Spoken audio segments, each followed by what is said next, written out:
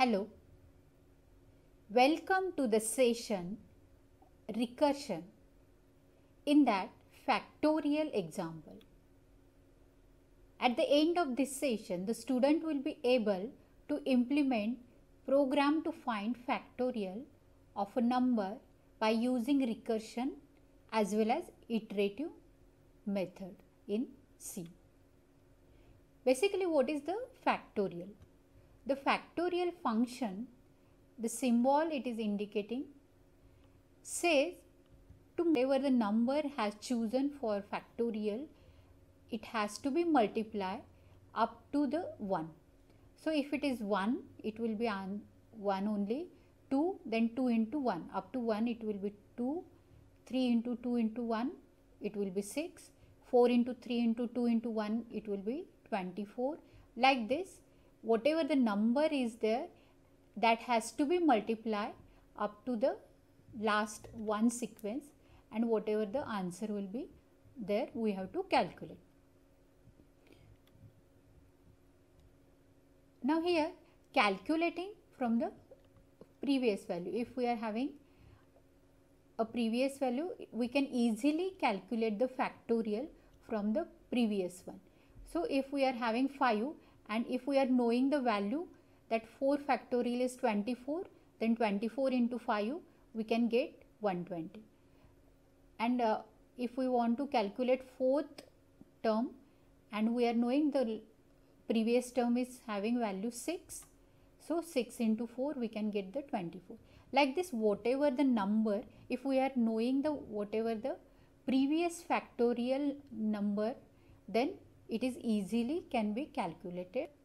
See uh, what is the application or use of this factorial? We can do this. One of the example it is shown here. If one letter is a is there then there is only one way to represent that one.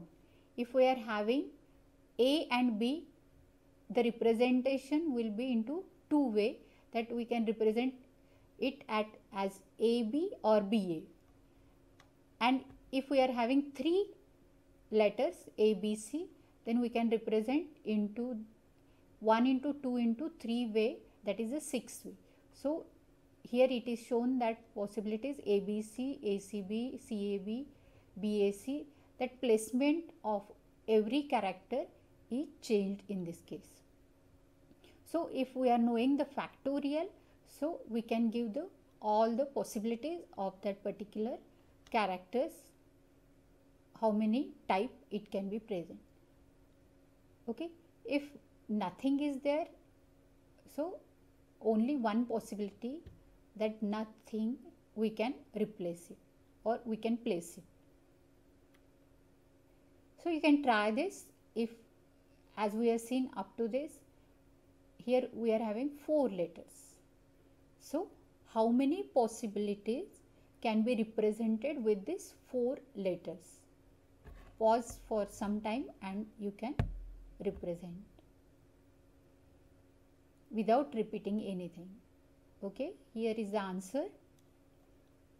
So, we are having the 4 characters. So, 4 into 3 into 2 into 1 that is the 24 way we can represent all this A, B, C, D.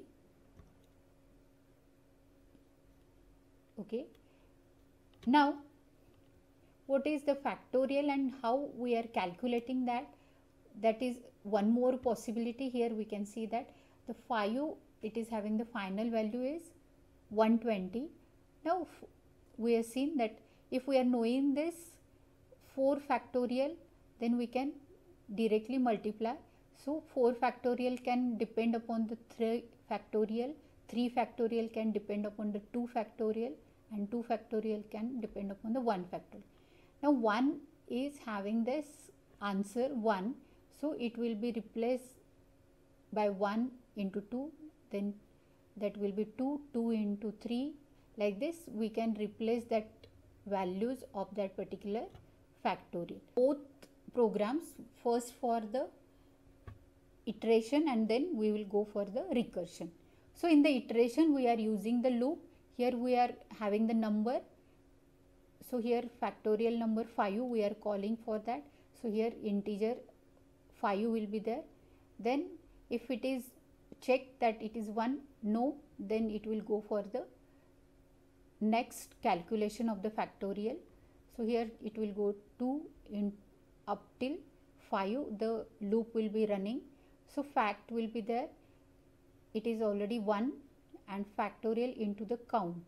Okay so here count is now 2 1 into 2 again next 2 is equal to 2 into 3 next like this the factorial will be calculated of 5 it will be 120 so this is the simple way of the iteration but here we need fact count. We have to maintain that variables also then we will see how it can be called the recursion. Just we have seen instead of 5 is equal to 5 into 4 into 3 into 2 into 1 here we are replacing it by 5 into 4 factorial.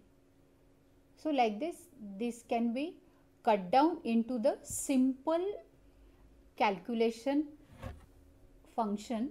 And then that simple last one will be answering the answer and then it will be passed to the next. Step. So this analysis is there.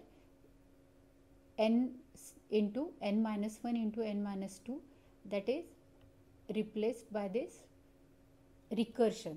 Okay? So we will see how it is possible to do this. Simple case answer is that is the smallest answer. Simple answer that is 1 this is the recursion just which number we are calling that will be called this. So here it is passing. If it is less than or equal to 1 we will return 1 otherwise we are calling this factorial again and again. The value should be expected is 24 and how it is done we will see.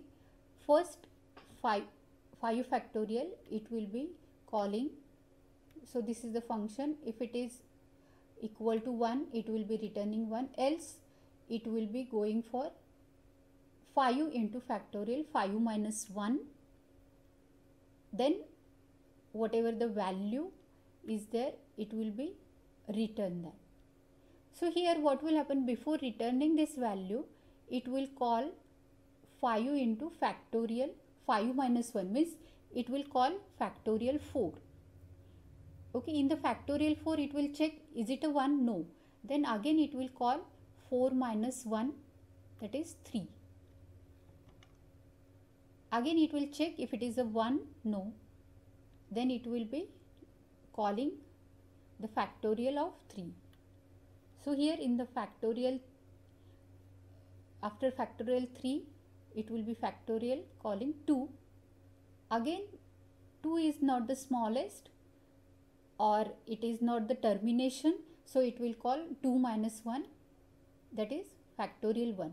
Now here 1 is equal to 1 so it will return the value 1 1 into the factorial value here it will be here only it will be terminated it will be returning the value 1 so that one value will be returned to this factorial 2 as we are having 1 into 2 so that is 2 then this 2 value will be returned to this factorial 3 minus 1 it will be 3 into 2 is 6 though 6 is returning to this factorial 4 minus 1 so it will be calculating 4 into 6 that will be 24 and 24 is passed to this function. Then it will be 24 into 5 that will be giving the value 120. So without using any other variable it can be recall that and as we are putting all this value this calling on the stack as we have seen everyone whatever this value is pushed on the stack stack again it is pushed and when it is 1 it will be popped and next it will be passed it will be again popped 2 then it will be popped 6 as they are returning the values. So this is the reference. Thank you